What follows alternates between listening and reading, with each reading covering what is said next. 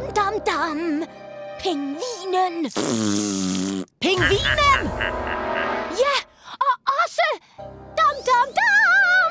Dræber krokodillen. Og Killer Croc!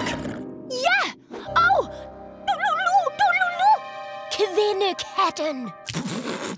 Catwoman! Hvor har du set dit dyr, Starfire? Lad mig vise det. Følg mig! Ah, ta, ta, ta.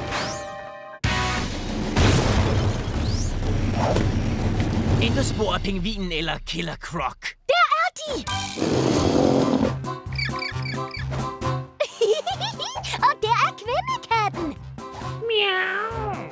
Åh, så du talte om rigtige dyr. Blev jeg misforstået? Ja, du blev, og så spyttede vi det lækre vand ud. Åh, det kolde, klare vand.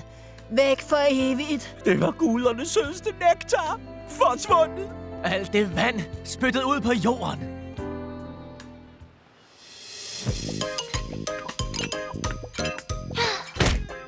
Starfire? Jeg vil bare gerne give undskyldning for at ødelægge det dyrebare vand med mine lingvistiske misforståelser.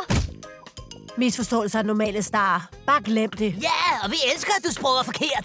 Jeg ville blot ønske, at jeg besad talens gave, ligesom I gør. Starfire, hvis du ændrer den måde, du taler på, ændrer du den, du er. Desuden så er det jo ikke noget, man bare lige lærer. Åh, oh, men det kan jeg. Det tamarianske folk kan lære sprog og talemønstre gennem læbekontakten. Mener du... mener du at kysse? Hvis Starfire gerne vil kommunikere klarere, så må vi hjælpe hende. Vidunderligt. I har alle hver jeres charmerende sproglige finurligheder. Hvordan skal jeg afgøre, hvem jeg skal have læbekontakten med? Hvad med flaskehalsen peger på? God idé! Det er en god idé! Vi skal finde en flaske. Bare en flaske af planen! Jeg skal bruge en flaske! Flaske, flaske, flaske, flaske, flaske! Så er det nu! Slap af, mand. Slap selv af, mand! Jeg starter.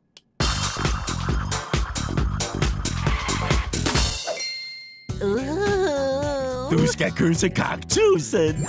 Hej, flotte fyr. Giv mig et kys.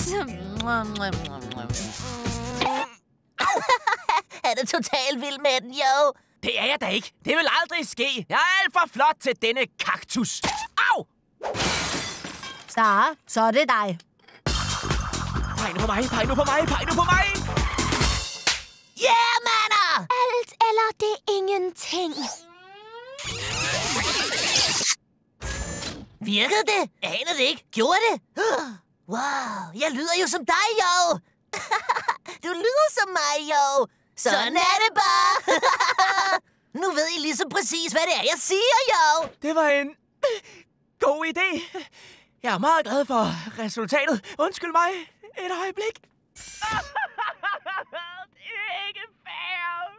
Klik på abonner, så du ikke går glip af en Cartoon Network video.